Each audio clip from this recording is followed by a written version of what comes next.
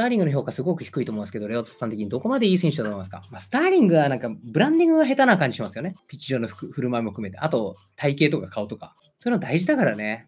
スターリングはずっとなんか小物感込みで評価上がってない。逆に、逆スターリスターリングの感じはあれ、いつも思うんだよ。格だけなんかすごいな。そんコラロフ。なんかコラロフ大スターみたいな、あの、芸能人でいう藤原紀香みたいな。あ、なんか、大女優みたいにされてるけど、代表作はないよな、みたいな。なんかそんなんだね。ずっと欲してた日々ここに君がいれば最高なのに。